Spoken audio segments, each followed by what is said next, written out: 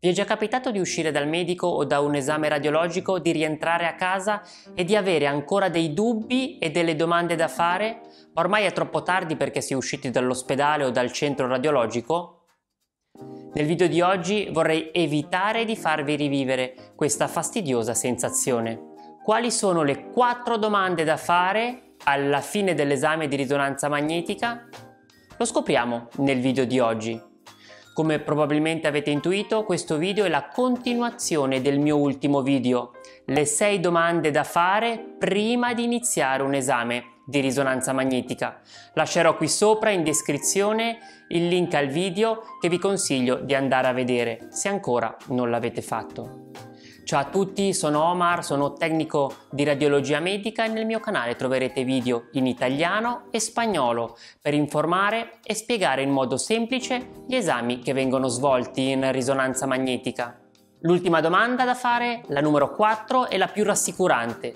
Se un centro radiologico mi desse quella possibilità, sarebbe sicuramente una struttura da prendere seriamente in considerazione per svolgere l'esame di risonanza magnetica o qualsiasi esame radiologico. La prima domanda che consiglio di fare è accertarsi che l'esame sia andato bene e che si sono ottenute delle immagini ottimali.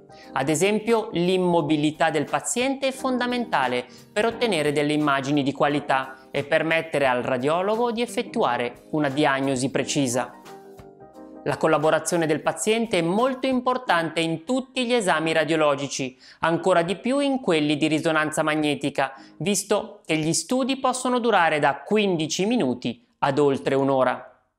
In risonanza magnetica raramente gli esami sono urgenti e richiedono dei risultati immediati, ma è evidente che se risulta necessario svolgere l'esame si vuole avere i risultati al più presto. Ecco perché la seconda domanda da porre è in quanto tempo saranno disponibili i risultati dell'esame e quando il medico richiedente riceverà il referto del medico radiologo. L'ottenimento di risultati prevede due momenti d'attesa, l'attesa per svolgere l'esame e l'attesa per i risultati.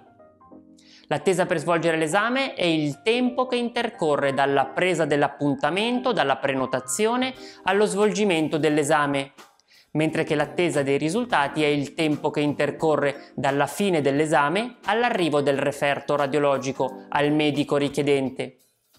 Ecco perché al momento di prenotare la risonanza magnetica si può chiedere in quanto tempo indicativamente arriveranno i risultati dell'esame. Preferite prendere un appuntamento e svolgere l'esame il giorno dopo e attendere una settimana i risultati? Oppure preferite fare l'esame fra una settimana e ricevere i risultati il giorno dopo? Riflettete su questo e lasciatemi un commento a riguardo. È ovvio che l'ideale è fare immediatamente l'esame e ricevere i risultati il giorno dell'esame, ma come ben sapete non è così. Se per voi è importante ricevere rapidamente i risultati, richiedete tutte le informazioni il giorno della prenotazione dell'esame. Se il paziente ha la possibilità di scegliere il centro radiologico, valuterei il tempo che intercorre dalla prenotazione dell'esame all'ottenimento dei risultati.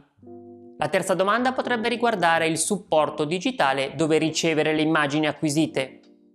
Al termine della prova il paziente può ricevere, se lo ritiene necessario, una pennetta USB o un CD con il suo interno le immagini acquisite durante l'esame. Mi sembra giusto precisare che su questi supporti raramente sono presenti i risultati con il referto del medico radiologo. I risultati vengono inviati in un secondo momento al medico richiedente. Ultimamente alcuni centri hanno optato per una terza possibilità, molto utile e funzionale, che evita di dover stampare le immagini su un supporto fisico.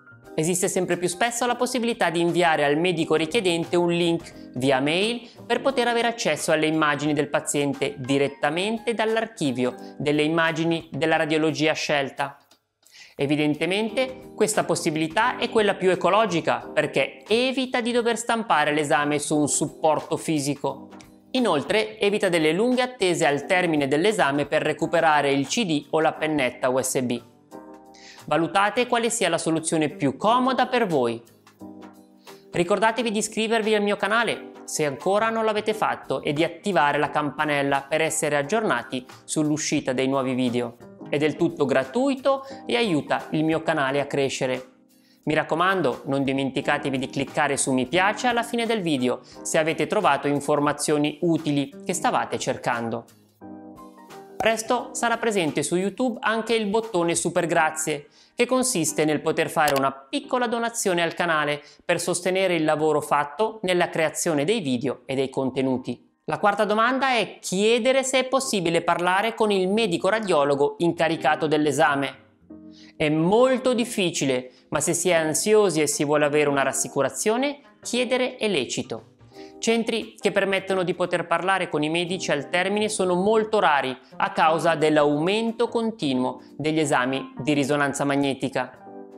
Durante uno studio di risonanza possono essere create migliaia di immagini e richiedere di avere i risultati appena usciti dalla risonanza magnetica è comprensibile, ma molto difficile.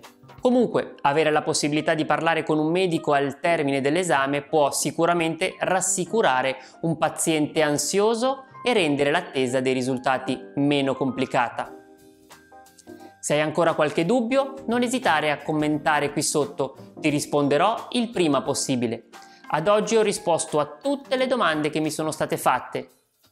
Se il video ti è piaciuto non dimenticarti di cliccare su mi piace e se vuoi rimanere aggiornato iscriviti al mio canale e attiva la campanella. Un saluto e a presto per il prossimo video.